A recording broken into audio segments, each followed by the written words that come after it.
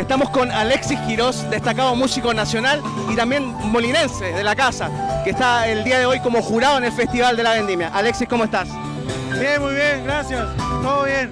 Alexis, volviendo a la casa, volviendo a Molina. Claro, después de 17 largos años, volviendo a la casa, volviendo a Molina, en mi festival, gracias a la alcaldesa por la invitación.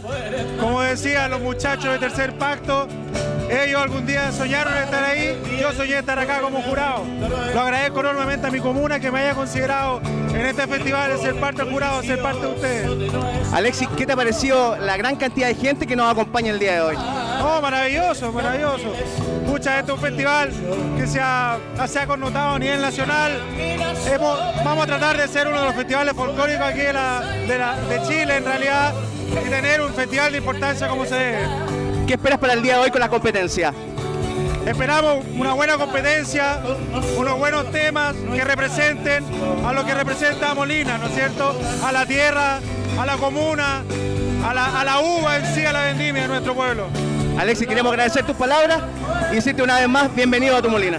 Gracias, muy amable, gracias a ustedes.